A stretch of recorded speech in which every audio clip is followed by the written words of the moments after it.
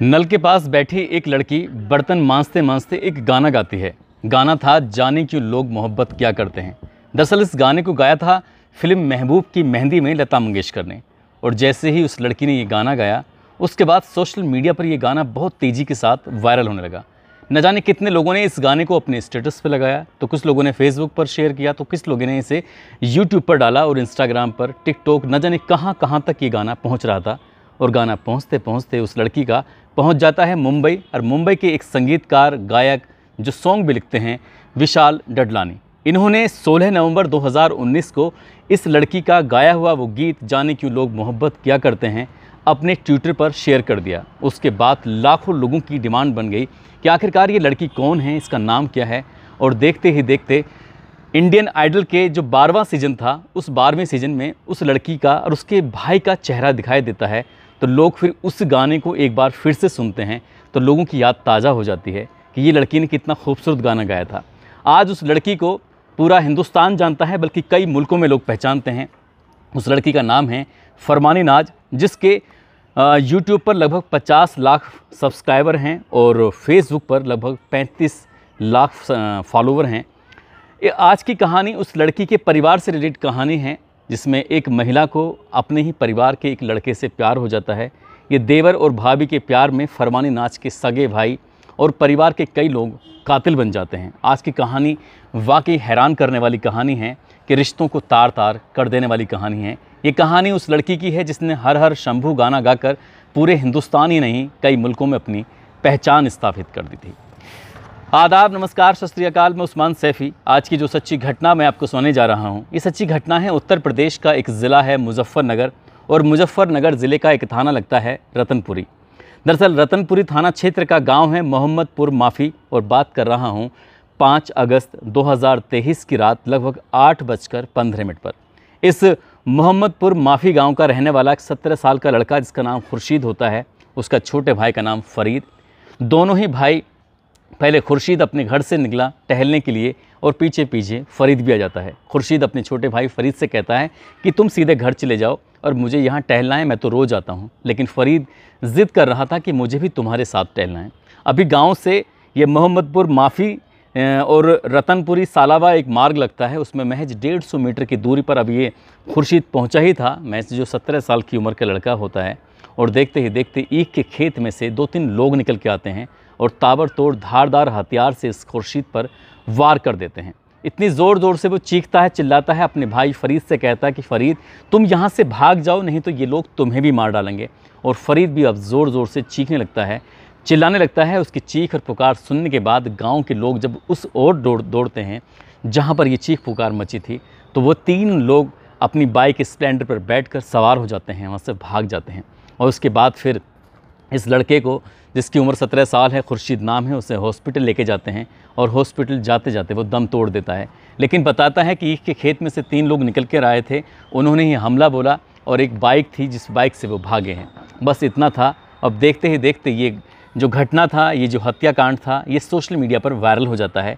Viral हो भी क्यों ना? क्योंकि जो लड़का मरा है, जिसकी कत्ल हुआ है, उसका नाम खुर्शीद होता है और उसकी सगी ताऊ की बेटी का नाम फरमानी नाज होता है, जिसके क्या इंस्टाग्राम हो या फिर फेसबुक या यूट्यूब हर जगह इसके लाखों करोड़ों फॉलोवर हैं, उसके लोग उसके गाने सुनते हैं, उसके लिखे हुए गानों को जो सुनते हैं। देखते ही देखते पुलिस पर दबाव पड़ने लगता है और इसके बाद न केवल उस हॉस्पिटल में, बल्कि अगले दिन थाने पर जाकर हंगामा शुरू हो जाता है कि जो भी कातिल हैं, उन कातिलों को जल्द से जल्द गिरफ़्तार किया जाए। लोग जब हंगामा करते हैं, नेता भी शामिल होते हैं, और ये पूरे देश में मामला फैल जाता है, हर कोई जानना चाहता था कि आखिरकार फरमानी नाच के भाई का कत्ल किसने किया है, क्या मामला है? अब पुलिस करे तो क्या करे? पुलिस ने इस बीच में लगभग 300 से ज़्यादा लोगों से पूछताछ की, लेकिन इस, जिस रोड पर ये कत्ल हुआ था, उस रोड पर दूर दूर तक कोई सीसीटीवी कैमरे नहीं थे। फिर भी पुलिस ने कैमरों की तलाश की जो दूर दूर थे, तक थे, जिन जहाँ जहाँ तक इस रोड से लिंक रोड निकल रहे थे, लेकिन सीसीटीवी कैमरे में पुलिस को कोई सफलता नहीं मिलती है। ये लड़का खुर्शीद अपने पास एक मोबाइल भी रखा करता था उसका सीडीआर निकलवाया जाता है, लेकिन सीडीआर से भी कोई सफलता हाथ नहीं आती, उससे भी कुछ सक्सेस नहीं मिलती है। आखिरकार पुलिस करे तो क्या करे?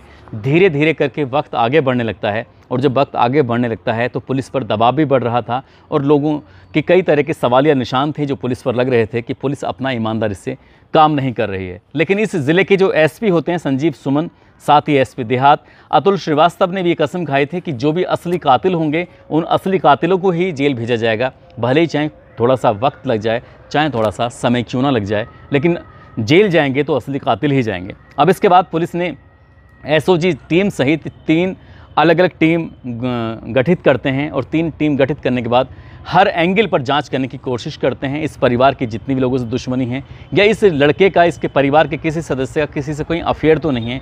हर एंगल को तलाशा जाता है लेकिन पुलिस के हाथ कोई सबूत नहीं लगता। लेकिन आखिरकार कहते हैं कि जैसे भूसे के ढेर में एक सुई जैसे मिलना, एक ऐसे ही कुछ मिलता है और पता चलता है कि एक नंबर पर एक नए नए नंबर से कॉल आती है, फ़ोन आता है और फिर पुलिस उस नए नंबर की जब तलाश में जुटती है तो कत्ल होने से महज दो दिन पहले ही वो नंबर अलॉट किया गया था, लिया गया था और एक दो बार उससे और बातचीत हुई थी। अब पुलिस ने उस नंबर की जाँच पड़ताल करनी शुरू की है, तब जाकर पता चलता है कि इस नंबर का जो इस्तेमाल है, एक लड़का कर रहा है जिसका नाम है फरियाद, जिसके बाप का नाम है उजागर, जो कि पूट खास रोहटा थाना लगता है, ज़िला मेरठ का वो रहने वाला है। पुलिस इसे गिरफ़्तार करती है, हिरासत में लेती है और उससे सख्ती से अपने तरीके से पूछताछ करती है। तो पूछताछ करने के बाद ये एक चौंकाने वाली बात बताता है। दरअसल फरियाद बताता है 10 अक्टूबर 2023 को इस घटना का एक महीने पाँच दिन के बाद जब खुलासा होता है, पुलिस जब इस घटनाक्रम का खुलासा कर रही थी तो पता चलता है, जो फरमानी नाच का भाई है, जिसका नाम फरमान होता है, उसकी पत्नी है और उसकी साली है। उसकी पत्नी और साली से इसी के सगे चचेरे भाइयों का अफेयर हो जाता है। यानी कि पत्नी से जो अफेयर होता है, उसके भाई मुर्शीद का अफेयर होता है, जो कि सगा चचेरा भाई होता है, और उसके जो साली होती है, उससे खुर्शीद का होता है। अब ये लोग काफ़ी दिन से परेशान थे क्योंकि फरमानी नाज अपने भाई के साथ गाने गाती थी, उसे एक शहर से दूसरे शहर में जाना होता था। कई बार रिसर्च करने होते थे, कई बार गाने लिखने के लिए, एकाग्र मन के लिए एक आध ऐसी एकांत वाली जगह पे जाना होता था। तो फरमानी नाज भी, उसका भाई फरमान भी, दोनों दूर दूर रहते थे और इसी दूर दूर रहने की वजह से घर पर इसका, यानी कि मुर्शीद का आना जाना शुरू हो जाता है। और जब वो घर पर आता था, तभी फरमानी के भाई से, उसकी उसकी भाभी से उसका अवैध संबंध हो जाता है और वो दोनों एक दूसरे के साथ इस तरह के अनैतिक रिश्ते में बंध जाते हैं। इस बात का किसी को भी कोई इल्म नहीं था, कोई जानकारी नहीं थी, लेकिन फरमान, यानी कि फरमानी नाच का जो भाई होता है, जो उसकी साली होती है, साली से इस लड़के का, जो मुर्शी चचेरा भाई होता है उसका भी अफेयर हो जाता है वो दोनों फ़ोन पर बातें करते थे।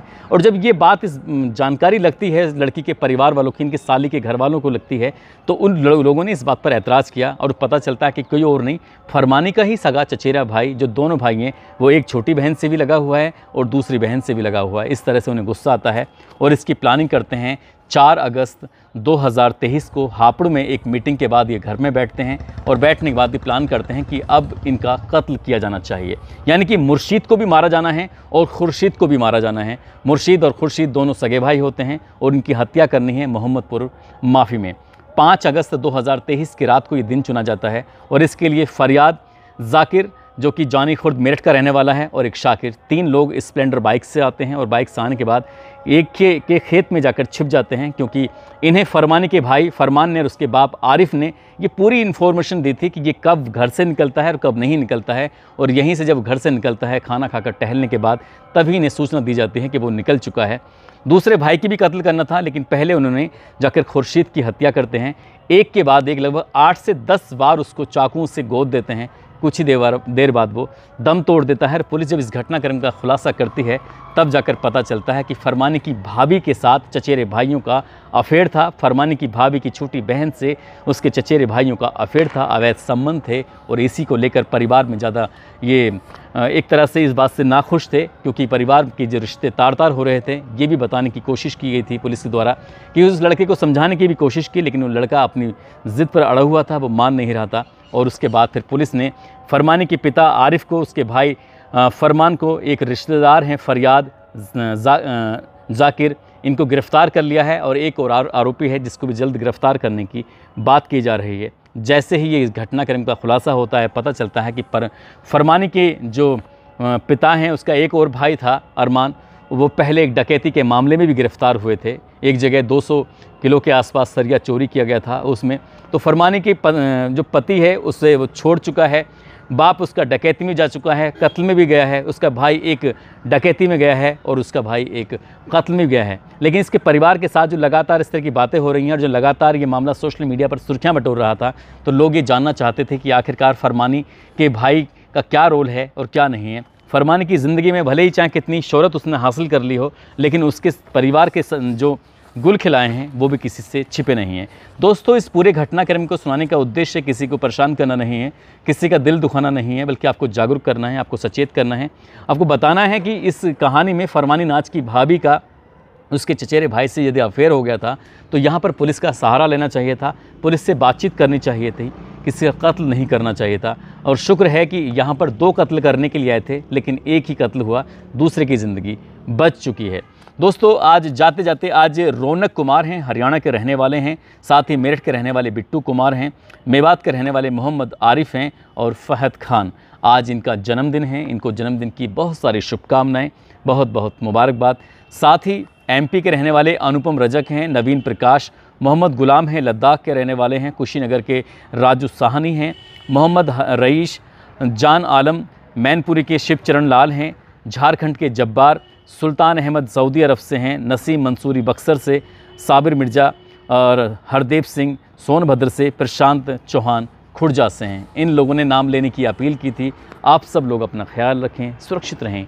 जय हिंद, जय भारत।